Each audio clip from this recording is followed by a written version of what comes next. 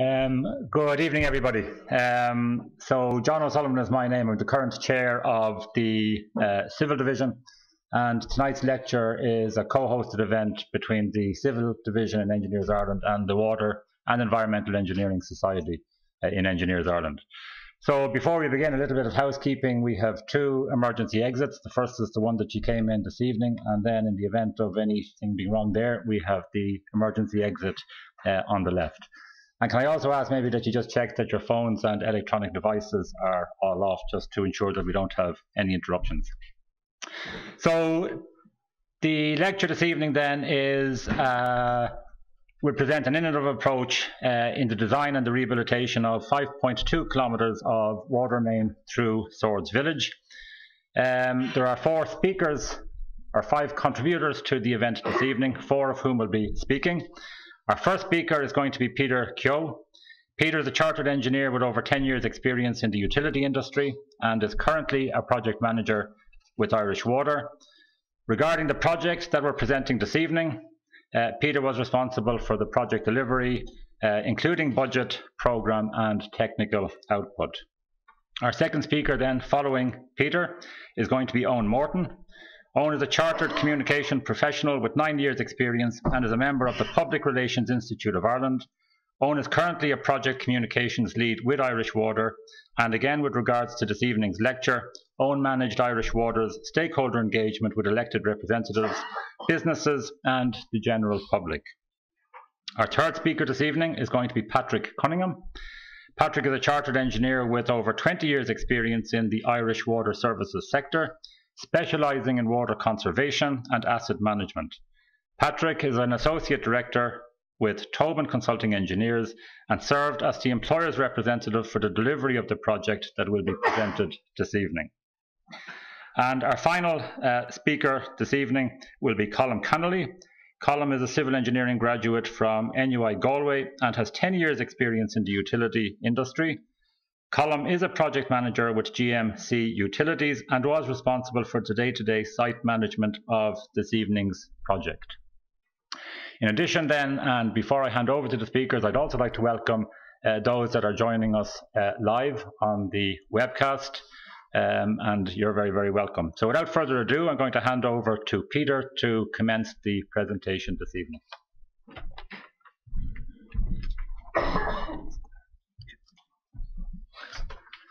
Hi, uh, good evening. Um, thanks, John. My name is Peter Keogh, and I was project manager uh, for the project. And uh, I just think today the aim of this presentation is just to give you a, an overview of the project itself, um, the challenges that we faced, and how we overcame them. Um, I suppose the first thing I'd like to do is just kind of give you an overview of, of what uh, of, of, the water main itself.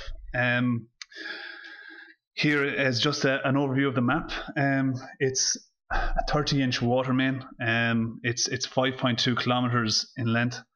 Uh, it starts down in, in Cook's Road, that's just north of the airport, and travels from south to north and goes through the heart of Swords, uh, up Forest Road, Main Street, North Street, and up towards Lissenhall, the M1. Um, so this water main is is um, it's it's a 30 inch. It's it, it, it's a high pressure water main. It's it's it works at eight bar. Uh, it feeds Swords and Malahide, Portmarnock areas, so it's a strategic water main. Um, uh, it has a, approximately 350 liters per second flowing through it. Um, so I guess in recent in, in recent times it started to create uh, a couple of issues, uh, predominantly being uh, burst, bursts occurring on the main itself uh, which I suppose led to the project itself coming to a sustainable um, long-term solution to uh, an old main. It was built in 1970, 1975, so it was coming to the end of its life. Uh, I suppose just to give the project a bit of context, and one of the key aspects of it is is the location, and, and that is Swords itself. Uh, Swords is located in North County Dublin. Uh, it's the largest town in Dublin. It's uh, the second fastest growing town in, in Dublin, in, in, Ireland, should I say.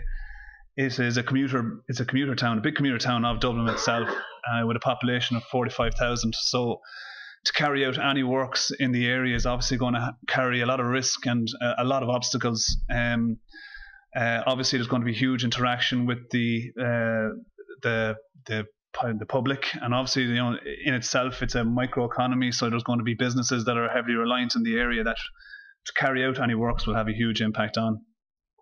Um, so uh, just to give you some further detail on the project need, I suppose, why is the water main failing? Um, one of them, the key aspects, is um, the rubber seal uh, at the joints of the water main itself. Uh, you can see here in the, um, in the top left-hand corner, we just have a graph here that shows, you know, after 30 years, the hardness of these rubber seals uh, begin to harden, uh, and it leads them um, to uh, deteriorate and eventually fail and they can fail in quite dramatic um, situations. We have a couple of photos of them coming up later, but you can imagine with an eight bar main that can be quite significant. Um, and these bursts can have, um, you know, a big impact on swords itself. Um, here are just some photos that uh, indicate what we need to do when there is a burst. Um, there's huge disruption to the town itself. This photo here is of Main Street, so you can imagine there's significant traffic disruption. Um, you can see that it can take a considerable amount of time uh, with these photos here. Big concerns for health and safety for the public during a burst, also for the construction team carrying out the uh, repair works. Um, and there will also be issues with supply um, carrying out these works. There'll be intermittent supply to the local areas, which is obviously uh, a key concern for Irish Water. Um, so I suppose the need for the project was to come up with a long-term solution so that these bursts wouldn't be continuing, you know, on a, a continuous basis, uh, and you know, ensuring a reliable supply of water to the communities. Um, like any construction work, um, we're going to have a big impact on the local area. So a, a key to that would be uh, communications, and for a town like Swords and the impact we're going to have, it was a key aspect of this project. So I think I'd like to ask uh, Owen Morton to come here and just give you an outline of what that communication strategy plan was. Thanks very much, Peter. So the role of uh, the communications team on this project was basically to ensure that we sold the benefits of the overall project while mitigating against the challenges and the risk that the, the project itself kind of faced. I suppose we were trying to upgrade 5.2 um, kilometers of water main through the second largest town in the country. As you can imagine, that brings with it kind of significant challenges in terms of communicating the benefit of what that project is while we kind of have a short term impact to people. So the challenge looking at there was a significant amount of political interest in this project. Um, and also we had a huge amount of kind of potential impact to businesses. Obviously, being the second largest town in the country, it's a kind of com- a commercial centre for Fingal, but also for Dublin.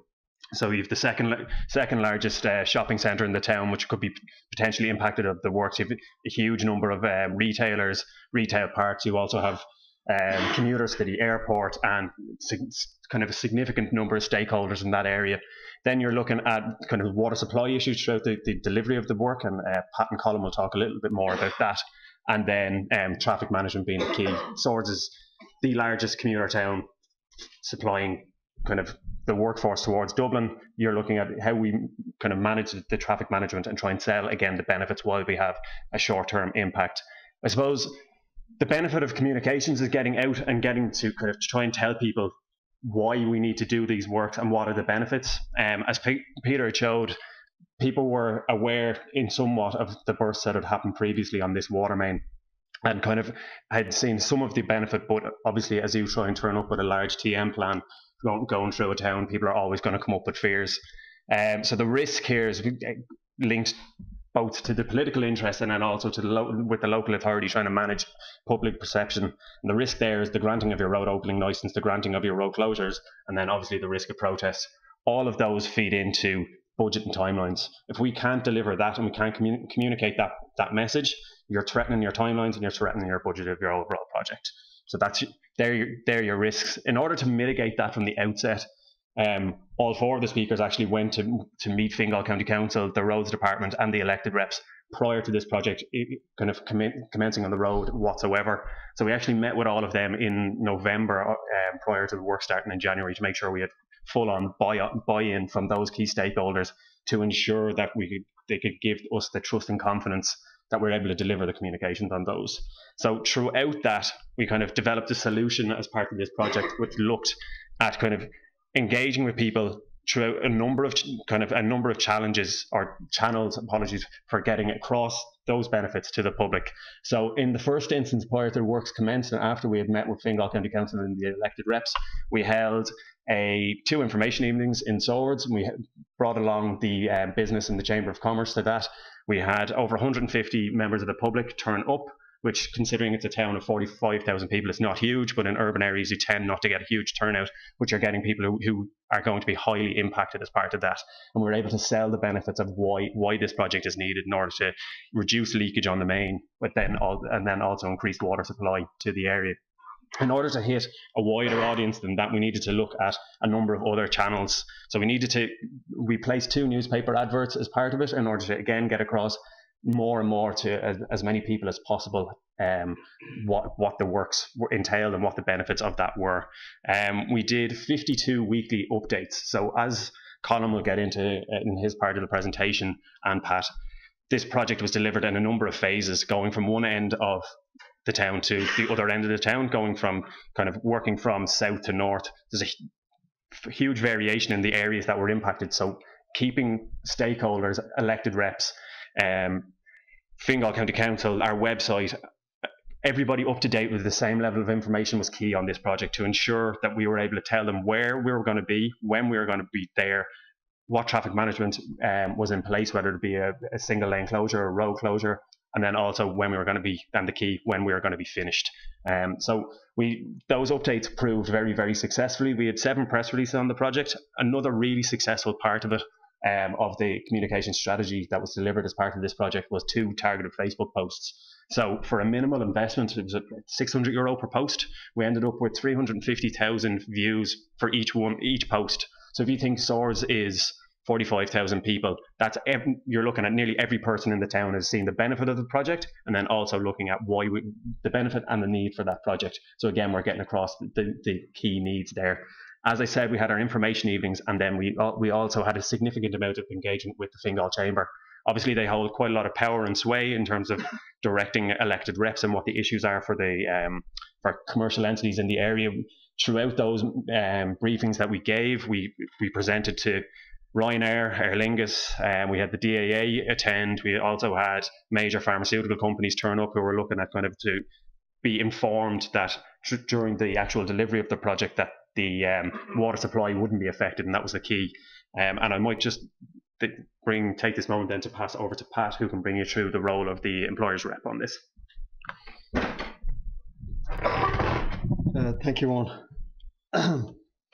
um, Tobin's were appointed as employer's rep um, to look after or manage this project. Um, initially, our appointment started out with Fingal County Council. Um, However, uh, with the establishment of Irish Water, the project was then novated to Irish Water.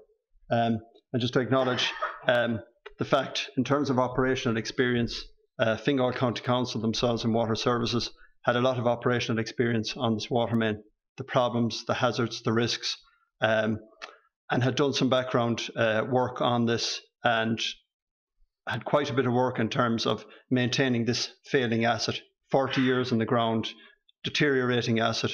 Uh, investment was key in this, getting the investment to deliver the project. Part of the objectives of Irish Water and the establishment of, of Irish Water was to look at strategically important projects, um, look nationally at water conservation, water main rehabilitation, draw up a priority list of what are top of the list in terms of priority and the best place to put investment. So feeding into that, there was an analysis done on the operational uh, experience, the hazards, the risks, the repair information in terms of the cost of repairing, um, how frequently it burst, payback period in terms of how quickly this asset would pay back if the rehabilitation works were carried out.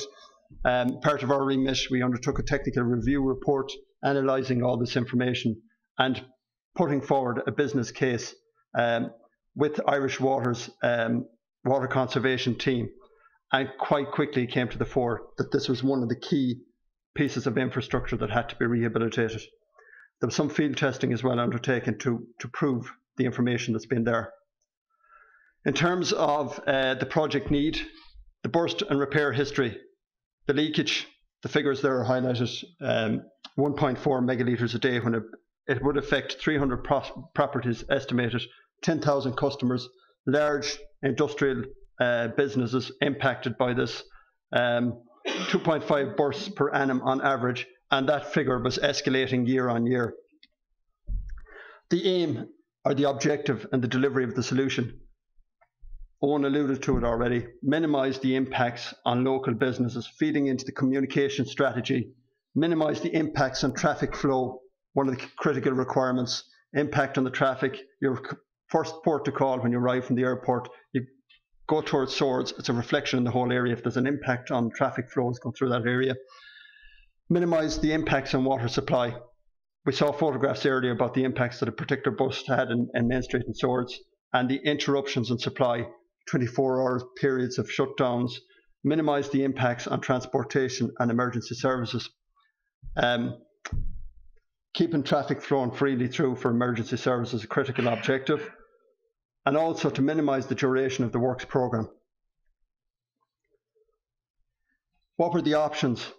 I suppose the options considered do nothing, first option.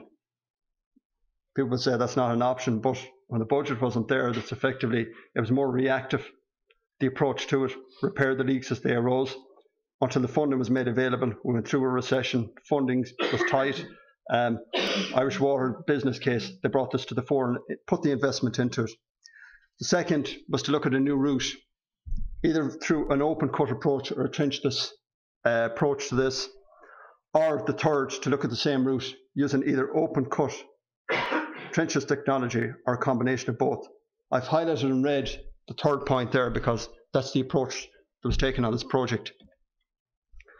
Specific challenges on this project. A significant risk was working adjacent to a high pressure mains, 8 bar pressure, uh, operating pressure on a 750 mm diameter water main. Quite complex to work adjacent to a high pressure main like that. Uh, safety, first priority. We as PSDP carried out uh, risk assessments on that. Technical challenge, significant challenge to replace a large diameter uh, water main in an urban area using traditional methods. Quite complex.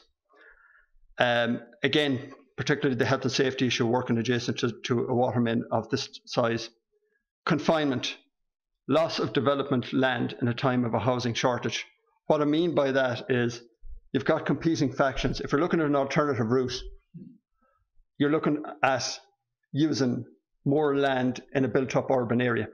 And you've got competing factions for land availability where you're looking for land to develop housing and infrastructure to, to accommodate that. So that's a confinement. I've, I've classed that as a confinement issue. The options available, we're considering a new routing plan leading to protracted way leave negotiations. Again, that's tied to the first one. A new route you're dealing with new landowners, and you have to make a strong case if you're going down the CPO to look at alternative routing of pipelines. The guiding principles and the approach to looking at the options here. There's an ethos in Irish, Irish Water, not only from the technical, but HSQE, health, safety, environmental, and quality. Taking the environmental in no particular order, what, what's envisaged in that is the ecological and archaeological constraints. And there studies carried out looking at alternative routes. You're going through different lands. What are the ecological impacts? Archaeological constraints. Swords, it's an old town. There's a castle in the middle of the town itself. Archaeological issues, working and looking at excavating that new ground, or oh, some of it already excavated. But you have to take all these considerations on board. That's in terms of constraints from an environmental point of view. Health and safety, as PSDP, we carried out design risk assessments to highlight the principal risks associated with working with a water main in uh, with the prevailing conditions, high pressure mains, and health and safety risks associated with that. That's just one particular item running through the, the all the principal risks, uh, a separate exercise. Uh, quality. One critical thing on this was there's tried and tested methods in terms of using uh, traditional open cut for larger diameter mains. You're balancing that against a relatively uh, new, well, trenchless technology itself is not new, but for large diameter mains, uh, you're looking at contractors in Ireland with experience of working with large diameter water mains And this was probably one of the largest water main diameters from a trenchless perspective uh, that was looked at in Ireland to date. So, tying in with the ethos of uh, Engineers Ireland, I suppose, is, is, one aspect of the CPT. CPD is a huge thing in, with Engineers Ireland. So, in terms of attacking the project, the structured research and collaboration was one view that was taken uh, on uh, studying and analysing the best way to, to, to, approach this problem. So, in terms of CPD, from our perspective, there's talks with industry experts on large diameter trenchless options. Uh, we reviewed international best practice, uh, going to the US, Canada has quite a, a, a lot of research in terms of uh, using trenchless technology. IWA published papers, and also separately Irish Water, looking at the market capability in Ireland to deliver a project of this nature doing the background research to say, is there the capacity in the market? Are there people out there that can do this? Um, moving on from that, that was that was the I suppose the early early on questions that had to be answered. Um, the other thing was to maximise the potential of the existing infrastructure through the use of existing techniques techniques and emerging technology. I suppose one view on this was to look at the benefit or any benefit from the existing asset that was there that could be utilized in providing the solution. Um, also, trenchless technology has a benefit in terms of reduction or potential reduction in carbon footprint. An open cut method requires excavating all the material that's there, reinstatement of a new pipe material, but all the backfill material that goes in there has to be quarried and brought from other locations. So there's a footprint associated, a carbon footprint. Trenchless technology can help to reduce the carbon footprint. That's only one, one particular aspect uh, in terms of carbon reduction. Irish Water wanted to use this as a test case also on an approach um, to carrying out rehabilitation of water mains within an urban environment. Test case in terms of doing the technical as aspect of it, but also in terms of how it would be procured and managed. And that feeds in, it's a national importance in terms of active leakage control. Rehabilitation is one of the key principles of managing leakage within an urban environment, or nationally, sorry. The preferred option, gone through all the constraints, just flicked over them there quickly, didn't get, get into the meat of every particular part of that detail. But ultimately, the preferred option, taking on board some of those constra- const- uh, constraints, was to use the same route for the most part and using a, combination of open cut and trenchless technology. However, before we did that, we had to test the preferred option that we were looking at and the best way of potentially tackling this problem. The first port to call on to help us with that was to, to, to undertake hydraulic modelling. Irish Water's hydraulic modelling team uh, did did a bit or did some work on the hydraulic modelling aspects of the project um, based on some field testing that was carried out on the ground. So on paper, we'd ascertained that this, this option would work and that the water supply could be maintained while using this trenchless technology uh, method based on looking at discrete sections of the trunk main that you could isolate segment by segment and keeping the supply coming in from two separate directions. So you're isolating discrete sections within the pipeline. With that plan, there was no planned long-term interruptions. However, it did require advance works to facilitate a limited and temporary backup or backfeed supply. I would stress that this was a temporary backup supply, not a long-term feasible um, option. Um, and trial, trial runs um, on the backfeed supply were undertaken by um, Irish Water and Fingal County Council operational personnel to ensure a temporary reliable supply could be maintained during the works. In terms of procurement, lead, leading on from the earlier point that I made about the background research on the market, there was a suitability assessment or pre-qualification process carried out, advertised in OJEC. As part of that, it was to attract an international market, not only nationally, but, and from that, we got contract, contractor, we assessed contractor suitability and, and their suitability to act as project supervisor for a construction stage in terms of managing the health and safety risks that are there. Following on, or in tandem with that, contract docs were being prepared for the project, taking on board Irish Water's own standards, employer standards, protocols in terms of communication. Owen spoke about those earlier about protocols and the work that had been done to date, and Irish Water's in house protocols and procedures for dealing with communications, and a whole communication team within Irish Water that deals with this and management of the project. Also, the HSQE requirements. I mentioned that earlier about the HSQE health, safety, quality, environmental. There was an emphasis on those uh, those points within the contract docs. This contract was not awarded on price only. HSQE requirements and communication requirements were brought in to assess the suitability of contra contractors and managing the inherent risks that would be in the project and in having experience of dealing with communications within an urban environment.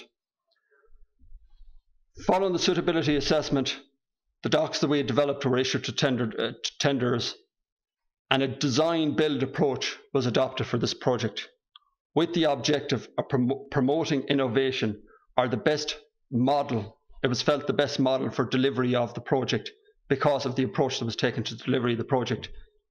I mentioned earlier about the test case, and this is part of the test case promotion of innovation with, under a DB approach. And I mentioned about a MEAT assessment. Following on from that, the contract was awarded in late October 2017. The contract works themselves. The there was a concept design or specimen design based on the modelling, the testing that was done, and a precursor to the works being carried out themselves. We had information on paper that this was the pipeline that was constructed and the diameter of the pipeline. However, there was a requirement made for the contractor to carry out a CCTV investigative survey prior to doing construction on the project itself. That was to prove the records, I suppose, that were there. Based on paper, the paper exercise, it was estimated 3.8 kilometres of that 30 inch diameter pre-stressed concrete pipe could be undertaken by a trenchless installation methodology using an independent structural pipe. And the, re the remainder of that pipeline was to be replaced using an open cut method, 1.4, which adds up to your 5.2 kilometres. I won't get into the detail of this. Suffice to say that these are the independent sections that were set up for the water main rehabilitation. So section 1A was isolated at the lower end and at the top end, and everything else was kept operational. And that approach was carried out section by section of the pipeline. Again, founded on the modelling, founded on field testing, founded on ba uh, backfeeds, trial tests that were carried out by Fingal and Irish Water. General requirements in terms of contract documents. I suppose these are reiterating some of the points that Owen made earlier. The general requirements, the contractor is required to facilitate the business of the general public, traffic, landowners and occupiers, minimise the impact on water supply, planned outages to be notified in advance in a protocol in terms of communications for dealing with that, and to minimise the duration of works, there was a programme of 24 months given for this delivery of this project. Again, feeding on from all the risks that were associated with the project. Um, site restrictions, program constraints, early engagement with the stakeholders, the preferred hours for the works to be carried out, no night works because of residential properties, so, so on and so forth. So those restrictions were incorporated into the contract documents. The project impact mitigating measures to reduce, reduce the potential impact on the public. I suppose the background, I talked about a specimen design, the background information that was provided, there was an outline traffic management plan done on how we thought this could be delivered. The road closures in consultation with the roads authority that might be required to do a project of this nature um, and diversions and access issues for properties and traders. Also water disruptions plans for how this could be done based on the modelling, temporary plan shutoffs, and also access to private lands.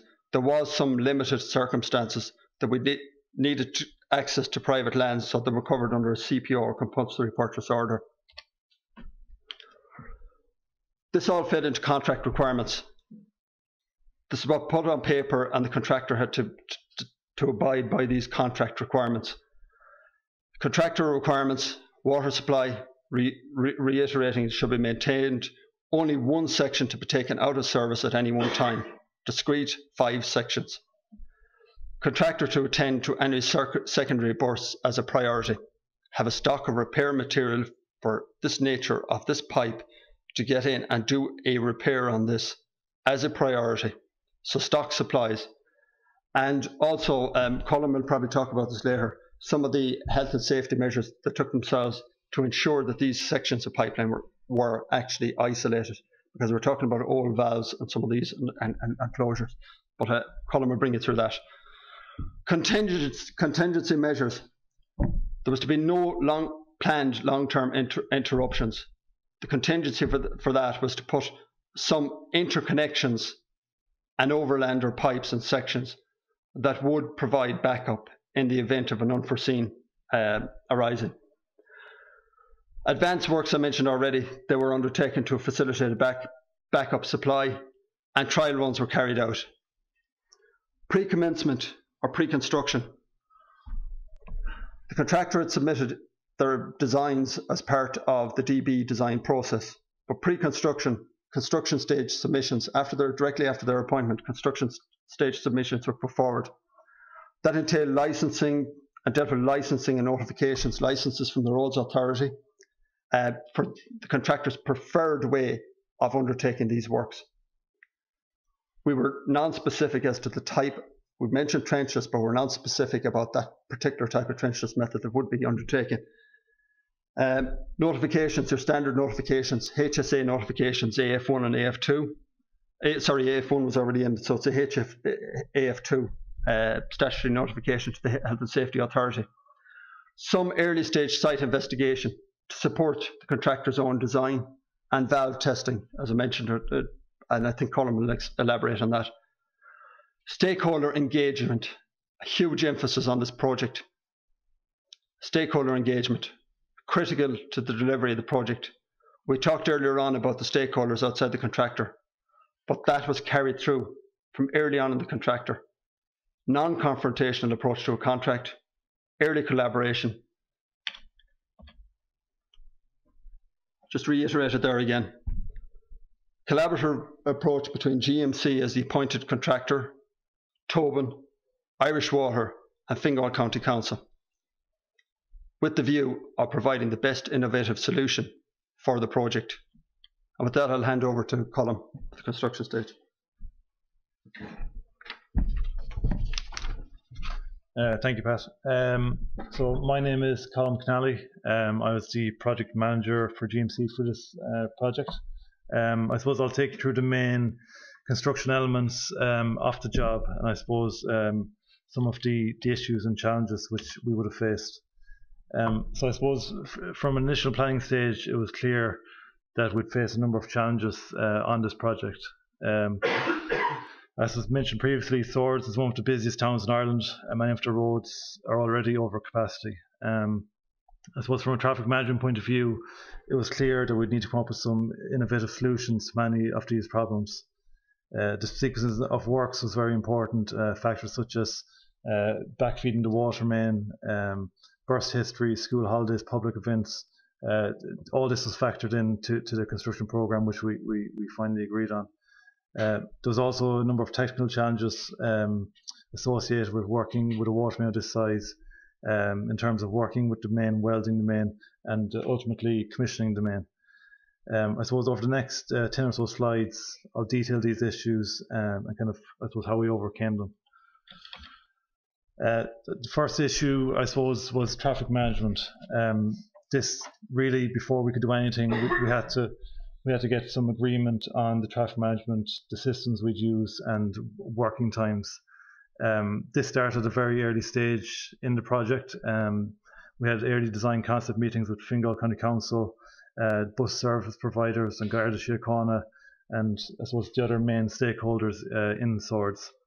Uh, once we'd received, I suppose, uh, a buy-in from, from these stakeholders, we began to apply for uh, road closures. Um, there's quite a long lead time involved in uh, preparing advertisements and advance notice to the residents, and also uh, there's some work to be done on the existing traffic infrastructure. Um, again, all this was done to, to minimise disruption to the public. As Pat mentioned, uh, swords is so close to the airport.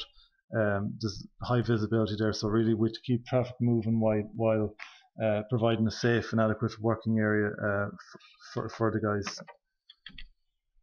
So I suppose in terms of traffic management, um, one of the main uh, challenges straight away was Main Street. Um, so I suppose Main Street and Swords is 500 meters long, um, and there's three busy junctions along those 500 meters. Um, initial initially, it looked like a road closure was probably the only um, safe and effective way of carrying the work out um, on that section of the job. But I suppose it became clear very quickly that really wouldn't have been an option. Um, so we proposed to to basically make uh, the Main Street and Swords a one-way system over the summer months. Uh, so again, this is obviously a, a pretty drastic uh, change to the existing traffic management. So again, a lot of upfront liaison and consultation with stakeholders. Um, there would have been a number of open evenings held, uh, advanced VMS signs, newspaper adverts, um, really everything we could do to, to notify the public in advance of, of what we're doing and why we're doing it. Um, I suppose to make this work, to make it a one-way system, it's obviously closed. If, if you're heading north south, it's effectively closed. So uh, what, what we did was basically divert people traveling north to south onto the Swords bypass, and basically they would come up from the top and travel south.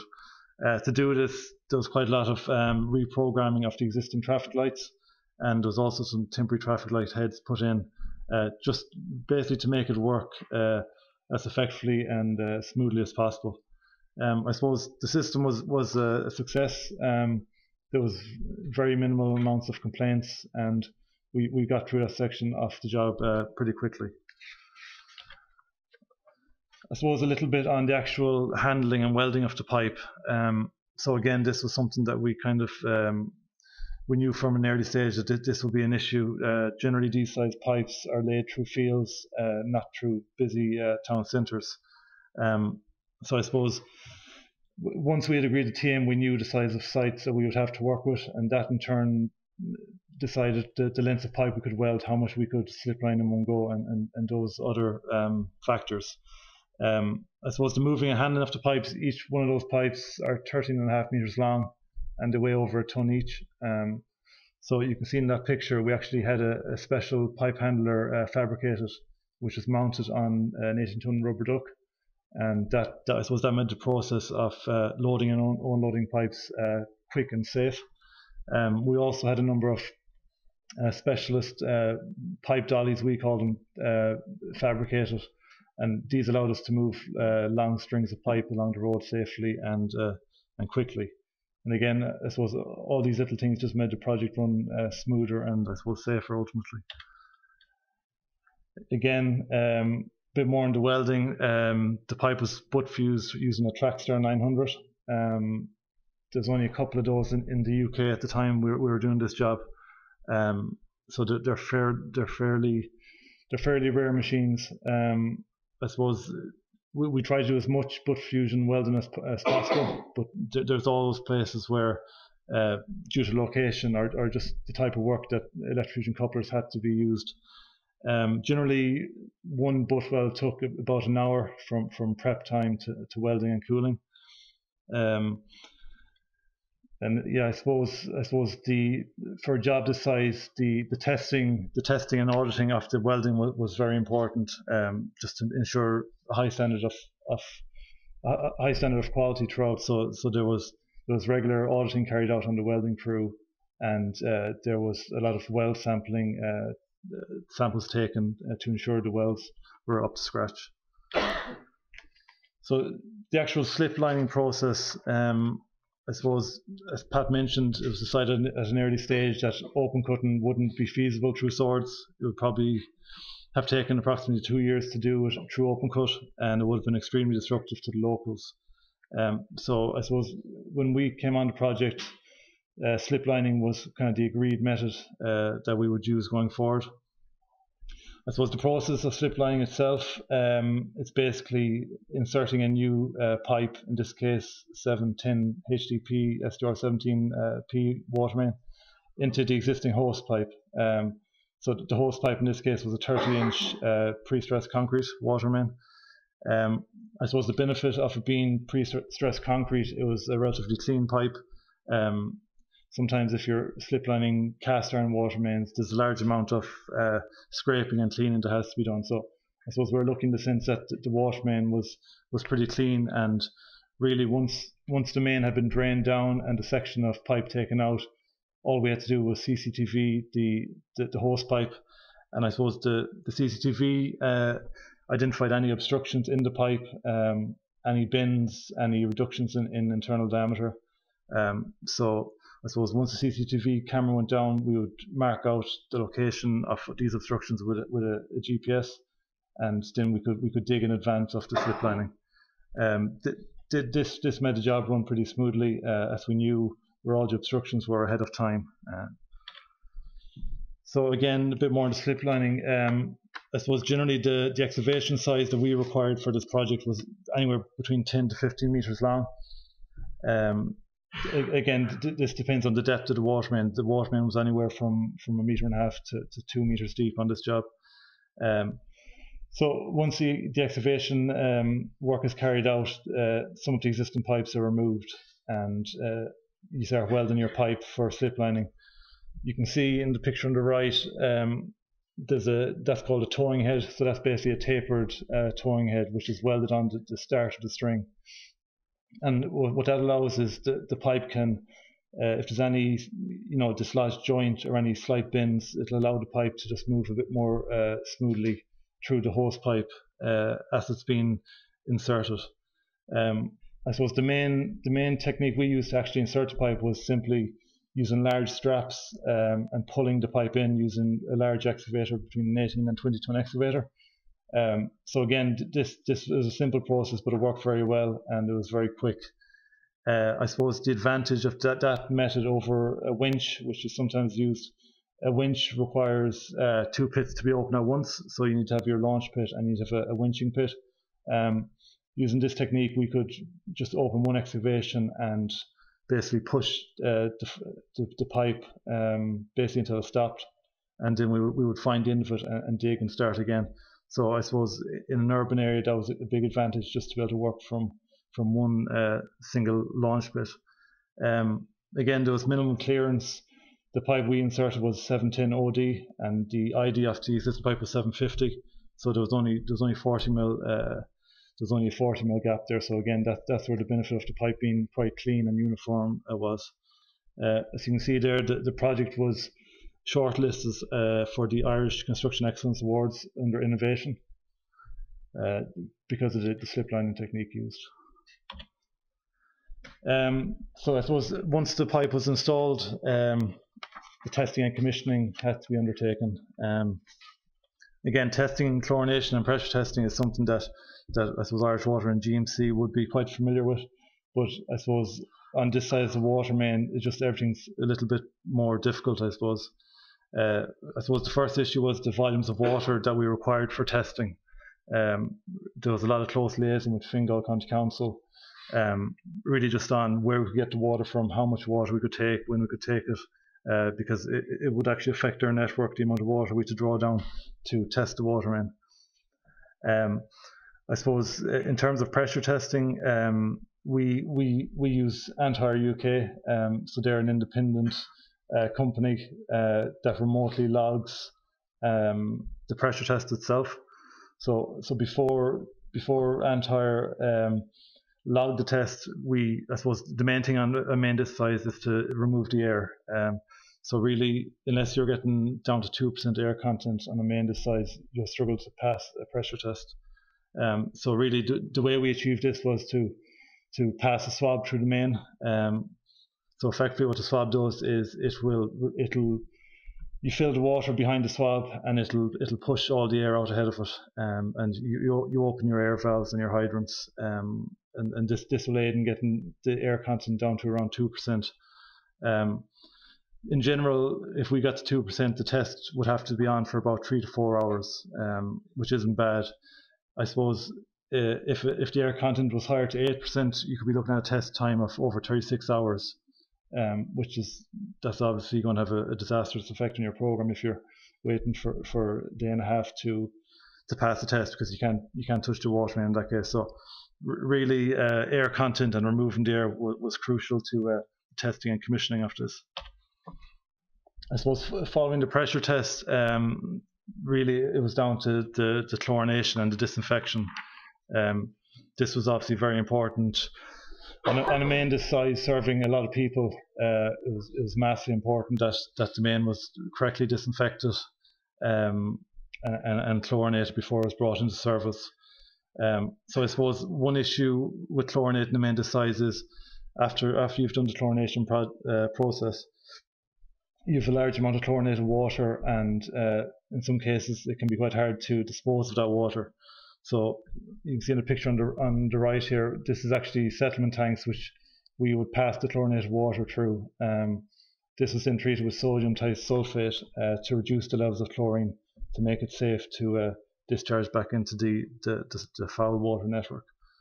Um, following the, the, disinfection process, um, both ourselves, GMC, and Fingal County Council took independent water samples. Um, these were then sent to labs um, to test for the presence of uh, coliforms and other bacteria. Um, once we received uh, uh, positive results, or uh, once once we confirmed there's no bacteria present, then the mains could be brought into service um, and uh, suitable for drinking uh, by the public. Um, I suppose finally, um, just on this project, the most important aspect of it uh, for ourselves, GMC and Irish Water, was was the health and safety. Um, that was clear from a very early stage. Um, so I suppose as a site team, we're very proud. Uh, we had an average HSE audit score of just over 91% from Irish Water, and also there was uh, zero service strikes over the entire length of the project. Um, which is, is fairly unheard of for a job this size, um, you, know, through through an urban area. So that was something that the crew and everyone involved was was quite proud of. Um, that's that's it for me really from a construction point of view. Um, I'll just hand you back to Peter now, and he's just going to conclude with a review of the project.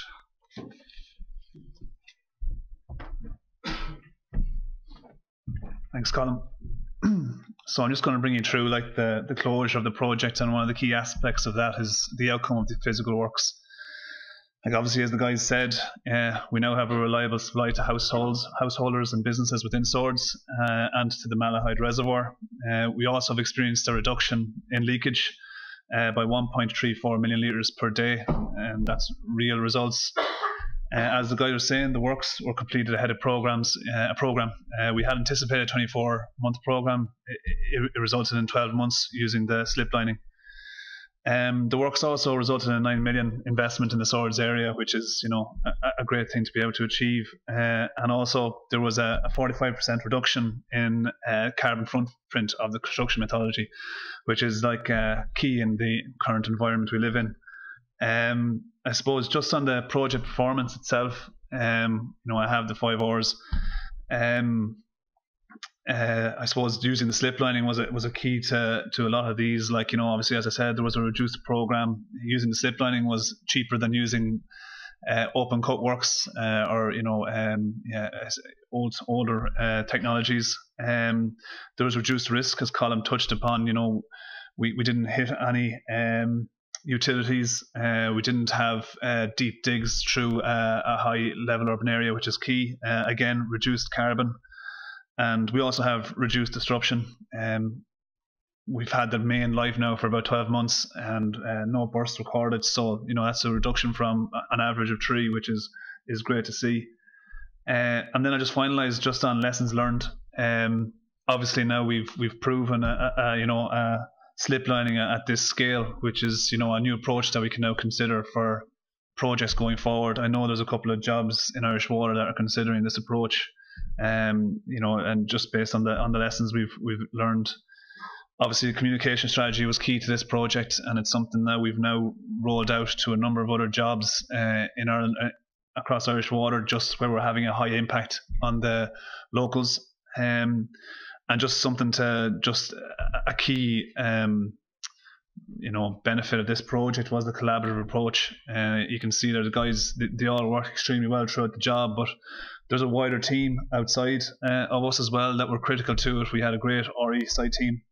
Uh, we had ops who were critical to anything we did on, on the job with Fingal County Council. Uh, there's a wide range of people there that w- were involved in the job and just working together, like you know, resulted in a successful project, and it's just worth uh, acknowledging that. And um, that, that's that's ultimately it. Uh, thanks very much for listening. Uh, um, yeah, thanks.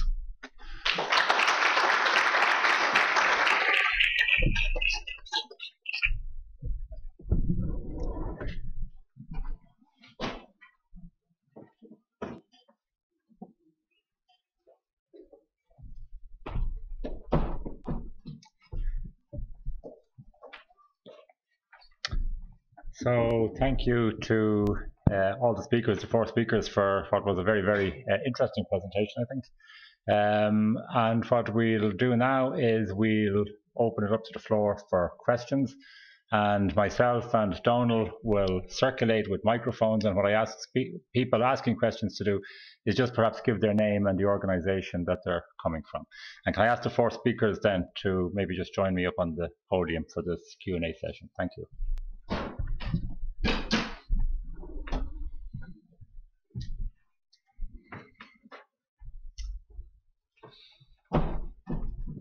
So yeah, if anybody just raises their hand and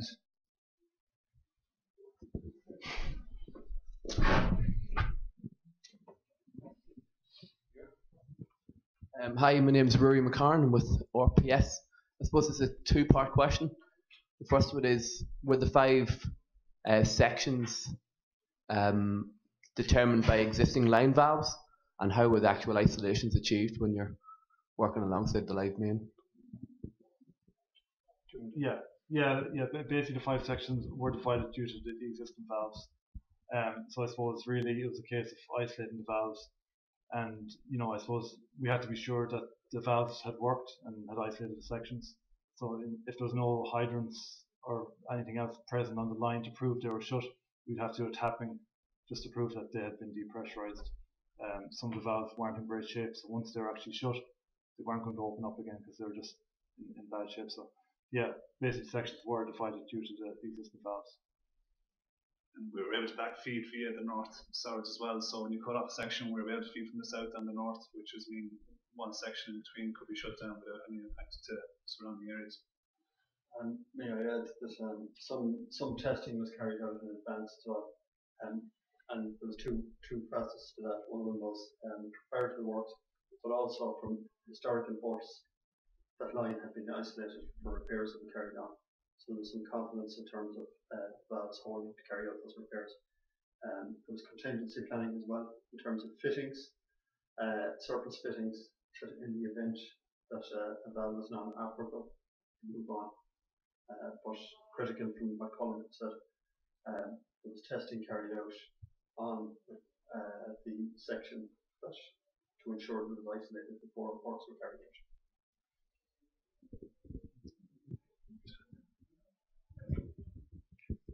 Kieran O'Keefe, Jacobs Engineering.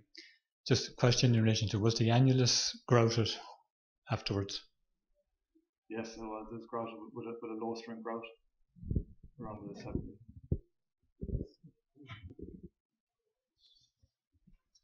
I just have uh, maybe a quick question. Uh, John O'Sullivan from UCD, and it's just in relation to the reduction in the diameter of the new main, whether any capacity was lost, or was that compensated for by perhaps lower uh, friction in the plastic pipeline as opposed to the concrete pipeline? Yeah, in, inevitably you had a degree of hydraulic capacity loss um, from what was used because you've gone from the 750 uh, turn diameter with a 710 uh, uh, polyethylene pipe. Um, talked earlier about um, the uh, trial and modelling that was carried out, but in tandem with that, there have been some upgrades carried out elsewhere. So there was balance in terms of uh, using some of the existing connections uh, to help to counteract, but also with the polyethylene pipe that was used. Um, smooth surface, very smooth surface to, to a polyethylene pipe. Um, so to answer your question, yes, there was a, a marginal reduction in terms of uh, hydraulic capacity, but was other measures carried out in the, the broader network to supply other areas and offset it. So really we're looking to maximise uh, the existing asset that was there and utilise that um, in the overall balance of what we're looking at. Okay. And just a follow-on question was the growth of the area, the population growth of the area, which I think is probably one of the fastest growing parts of, of, of Dublin, was that considered in the design process? Um, again, it's back, I suppose, partially answered by the first question that there have been other upgrades in the network to help growth, uh, with the growth, and those areas have been essentially the 30 inch main goes back 40 years, and the supply area uh, has evolved. Um, so there's been some upgrades elsewhere in networks to take sections of the network away from what was originally supplied 40 years ago.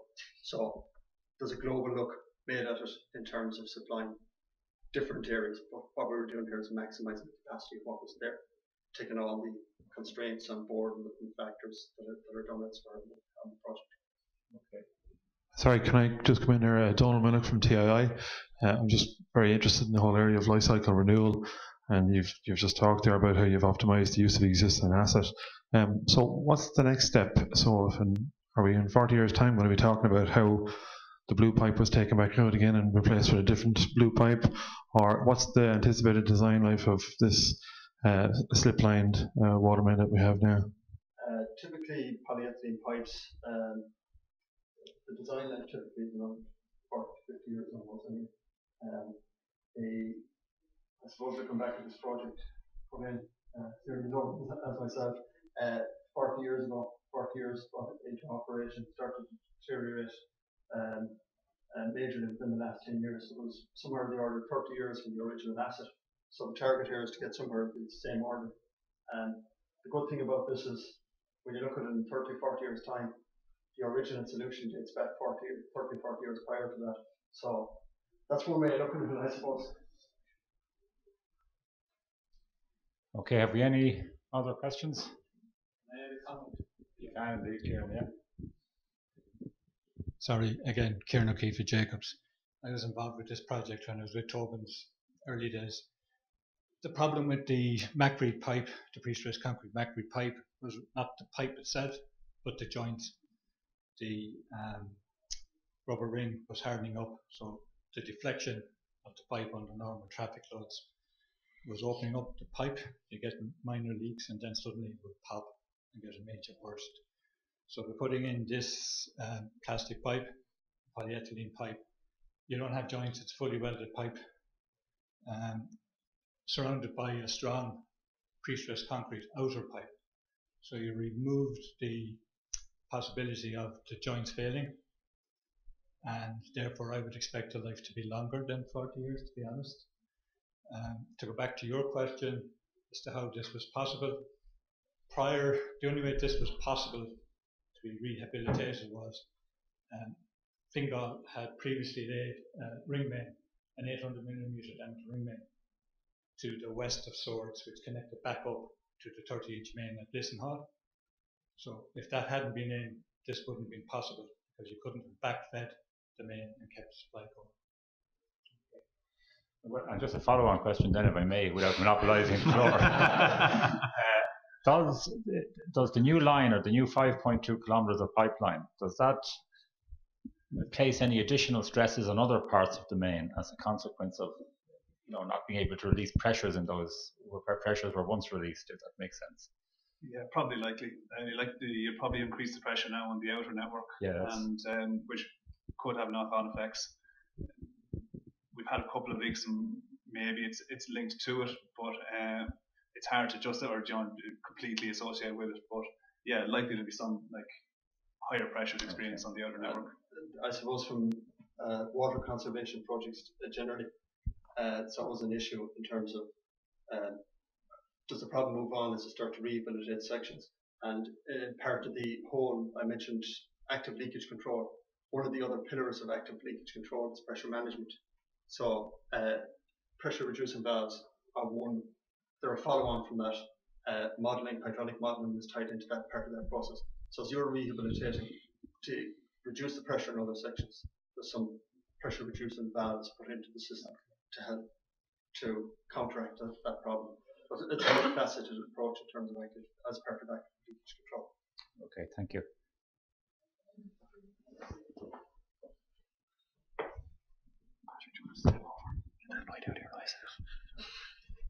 Hi, Alita Kavanagh, RPS. Um, just on the construction methodology used and the issues you encountered, um, did you have many um, occasions where you had to dig out um, sections of the pipe because it got caught or stuck in repairs, or did your CCTV cover all of that? Yeah. And secondly, sorry, Yeah. um, did did you end up pipe bursting any sections of it? No, we didn't pipe burst anything. Um, I suppose we probably slip lined a bit more than what was originally planned. I think. Yeah. Um, I suppose as far as slip lining goes, we could slip line just about past an 11 and a quarter degree bend. Um, it was tight, but you could get around it. Any more than that would have to come out. Um, the valves were also slightly smaller than the water main, so all the valves had to come out. The T's had to come out. Um, but in general, in general, we, we slip line most of it. Yeah, it's just really the bends and the valves that that, that stopped us from slip lining. Um, one one other point on that, I suppose, um, in terms of the as constructed as it transpired were fairly good and fairly reflective of what was there. Um, and secondly, come back to your point about pipe bursting, uh, because of the nature of the pipe it was there, a precast concrete pipe of that diameter, um, not really a feasible option. Uh, quite it requ- require quite a large bursting force uh, to um, displace that pipe with a lot of material that's around there. So um, probably not. Um, that that was one of the measured uh, considerations given. It's not um, really feasible option for that di- diameter pipe. Based on, I'd, I'd caveat that as well by the um, amount of that that's been done as well in the industry here. I just have one more question, if you don't mind. In the presentation, you mentioned 420 meters as the longest length that you slip lined. I think. Mhm. What what is what would be the maximum on, on a straight run? I'm not sure. I've I've taught the same thing myself. I suppose that length we slip lined was through plain fields, and the reason we stopped was because we came to a bend. Um, but I'm honestly not sure. You could probably, I would guess, you could probably do another hundred meters Okay. before the weight and the friction starts slowing you down. Okay. I. I think one of the factors there as well is the fact that it's pushing the pipe rather than um, when you're pulling a pipe in trenchless techniques, um, you have monitoring gauges in terms of pulling pressure and tensile force so that you don't overstretch the pipe and if it gets caught anywhere, uh, a dive would prohibit you from doing that. Um, in terms of pushing and the, the annulus that was there and the type of material that was there, um, I think you'd confirm that that made it more um, conducive to the method that was used and pushing that. But uh, uh, I think the 420 as well came later in the project as probably the experience or you were developing Yeah, more it was. It confidence was, it was terms through the plain fields, so it would have been later on. Yeah. Okay, thank you. Have we any final questions? Okay, so that's great, thank you. And just before we conclude then, I'm going to, at the outset I mentioned that this was a co-hosted event between the Civil Division and the Water and Environmental Engineering Society. Uh, and what I'm going to do now is I'm going to hand over, over to Donald Heaney uh, from the Water and Envi- Environmental Engineering Society to give uh, thanks to all of the speakers and indeed Cahill who uh, didn't speak this evening but contributed to the presentation. Okay, thanks all. Uh, just very quickly, uh, on behalf of the Water and Environmental Engineering Society, just thanks to John and the Civil Division for uh, kindly offering to co-host the event.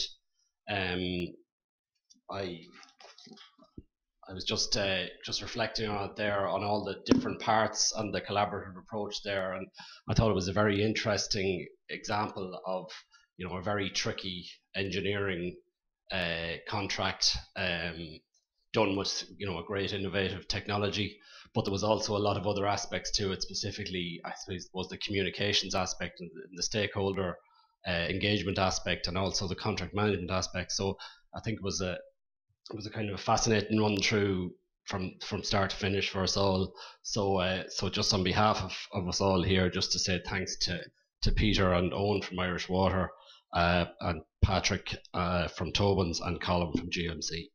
Thank you.